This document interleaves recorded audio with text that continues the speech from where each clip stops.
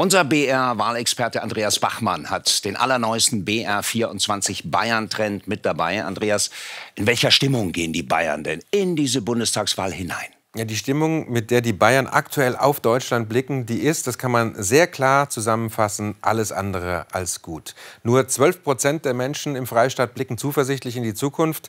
83 Prozent der Befragten sagen dagegen, dass die Verhältnisse in Deutschland aktuell eher Anlass zur Beunruhigung geben. Und dieser Meinung, die geht quer durch alle politischen Lager. Und wenn wir da auf die Altersgruppen schauen, dann sind es die 35- bis 49-Jährigen, die am stärksten verunsichert sind. Also genau diejenigen, die mitten im Arbeitsleben stehen. Ja, da liegen ganz schön viele Sorgen in der Luft. Und das bringt uns gleich zur Sonntagsfrage, und zwar mit den Gewinnern und Verlierern, Andreas. Ja, wenn am Sonntag Bundestagswahl wäre, dann käme die CSU aktuell auf 45 Prozent. Bei der Bundestagswahl 21, da kamen die Christsozialen auf historisch schlechte 31,7 Prozent. Also, das wäre jetzt ein sattes Plus von gut 13 Punkten. Die SPD halbiert sich von 18 auf 9 Prozent. Einzig die Grünen sind von den ehemaligen Ampelpartnern recht stabil, verlieren nur etwas mehr als einen Punkt auf 13 Prozent. Die FDP dagegen stürzt ab von 10,5 auf 3 Prozent. Der zweite Gewinner im Bayern-Trend, das ist die AfD. Sie legt acht Punkte zu im Vergleich zu 21 und wäre mit 17 Prozent zweitstärkste Kraft im Freistaat. Die Freien Wähler landen aktuell bei 4 Prozent und das BSW bei 3 Prozent. Und alle anderen zusammen kommen auf 6 Prozent. Also, wenn man das zusammenfasst, dann kann man schon sagen, dass die Strategie von Markus Söder offenbar auf der einen Seite maximalen Abstand zu den Grünen zu halten, auf der anderen Seite aber auch die Freien Wähler einzuhegen, indem man beispielsweise den bayerischen Bauernpräsidenten als Schattenminister nach Berlin oder für Berlin nominiert, dass diese Strategie aktuell aufgeht. Ja, danke Andreas fürs Erste. Wir sprechen auch gleich noch mal weiter.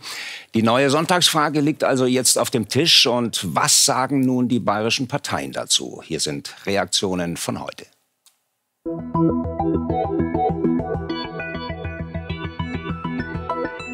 Das muss sich was äh, ändern. Und äh, die Union, die CDU, CSU, die sind das Gegenmodell zum Ampelchaos. Und das ist das, was zurzeit Vertrauen schafft. Aus dieser guten politischen Stimmung müssen aber jetzt auch dann Stimmen bei der Wahl werden.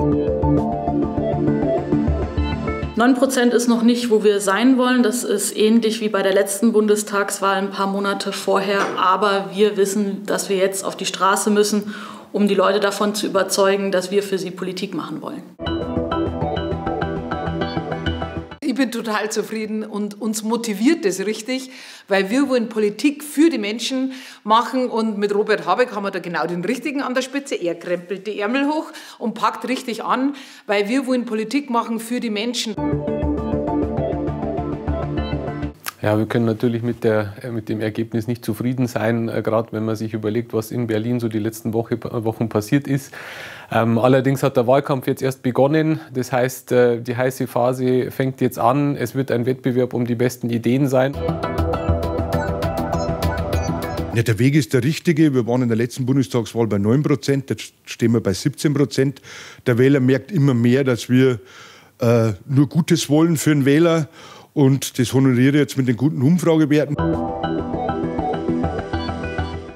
Überzeugt, wir sind diesmal stärker wie letztes Mal. Wir holen vor allem die drei plus x Direktmandate. Das ist das zentrale Ziel, damit in den Bundestag einzuziehen. Und Monate vor der Wahl, wo man noch nicht richtig im Wahlkampf ist, natürlich ist jetzt die Aufmerksamkeit auf den großen Bundestagsparteien. Aber die Freien Wähler, wie immer, wir kommen dann von hinten kurz, bevor es ernst wird.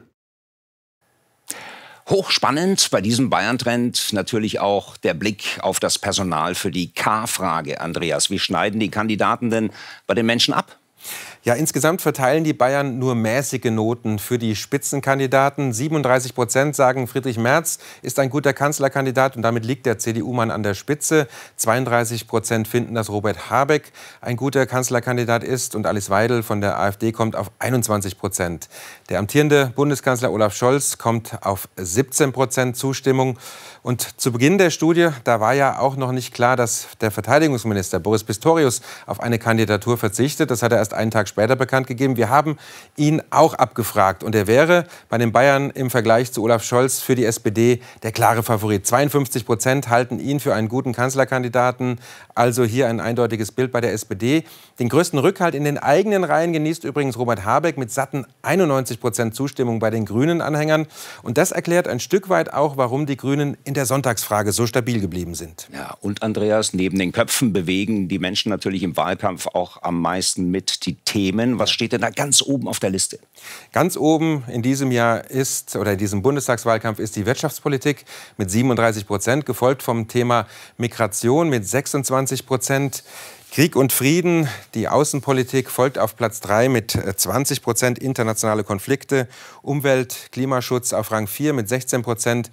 Und soziale Ungerechtigkeit kommt dann auf 12 Prozent. Interessant ist, wenn wir uns jetzt die Veränderungen anschauen im Vergleich zur letzten Bundestagswahl von vor drei Jahren. Und da sehen wir hier in den Klammern hinter den Balken, dass sich die Themenagenda der Menschen komplett verändert hat. Wirtschaft plus 27 Punkte im Vergleich dazu, dann Klimaschutz minus 28 Punkte ähm, die internationalen Konflikte mit plus 18. Also diese Bundestagswahl, das kann man glaube ich sagen, findet unter komplett anderen Vorzeichen statt als die Bundestagswahl vor drei Jahren. Und welcher Partei trauen die Bürger am meisten zu, all diese Probleme zu lösen? Ja, bei der Problemlösungskompetenz, da liegt die Union mit 37 Prozent ganz vorne, gefolgt von der AfD mit 10 Prozent, den Grünen mit 9 und der SPD mit 7 Prozent. Und das zeigt, die AfD ist längst keine reine Protestpartei mehr. Man misst ihr auch Problemlösungskompetenz zu. Es folgen dann mit sehr geringen Werten BSW, FDP, Linke und Freie Wähler. Aber dann kommt noch ein Balken, und zwar ein ganz schön langer. Den sehen wir hier. Gut jeder vierte Befragte, 27 Prozent, trauen gar keiner Partei zu, die wichtigsten Aufgaben in Deutschland zu lösen. Also da gilt es für die Parteien noch Überzeugungsarbeit zu leisten bis zum 23. Februar. Ja, soweit der neueste und auch sehr spannende Bayern-Trend von Andreas Bachmann. Dankeschön. Gerne.